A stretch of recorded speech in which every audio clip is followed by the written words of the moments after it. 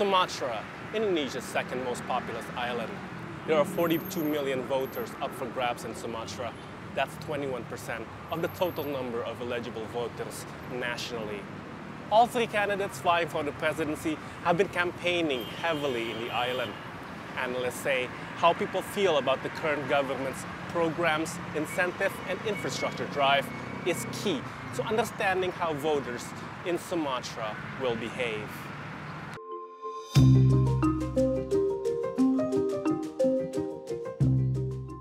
Since Joko Widodo, better known as Jokowi, became president in 2014, Sumatra has seen massive infrastructure development projects. There are now new airports, train networks, and over 1,000 kilometers of new toll roads, which nearly cover the entire length of Sumatra. This is why the president's approval rating is high in Indonesia, especially in Sumatra. Tingkat kesukaan uh, apa uh, rakyat Indonesia terhadap Pak Jokowi itu Presiden Jokowi itu kan di kisaran 80 persen. Nah, eh, sekarang apakah eh, dengan demikian eh, approval rate-nya Pak Jokowi akan serta merta eh, apa namanya dapat diarahkan kepada kandidat yang didukung Pak Jokowi ya? Saya kira pasti ada pengaruhnya.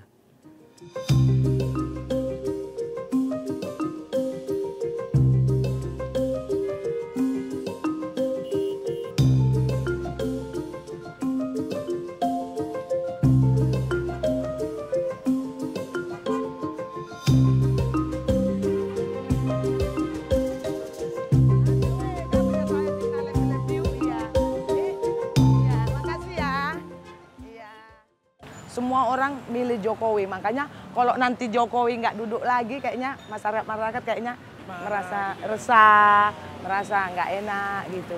Mudah-mudahan nanti yang mau ke depan ini bisa meniru kayak bakatnya Bapak Jokowi.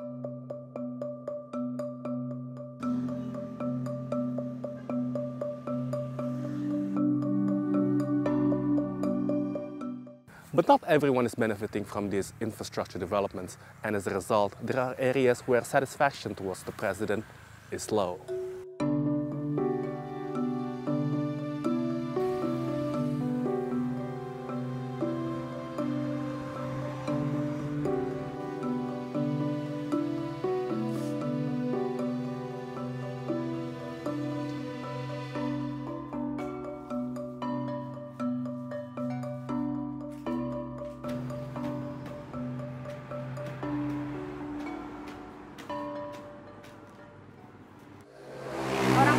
Banyak banyak terpuruk di sini Pak jadinya gitu. Entah karena apa nggak tahu lah pokoknya kok kan ini mau ganti kok bisa ya gantilah gitu gimana.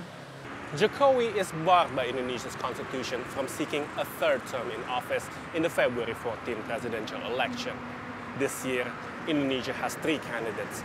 Anies Baswedan, who is supported by opposition parties and has been promising a change to how the country is run.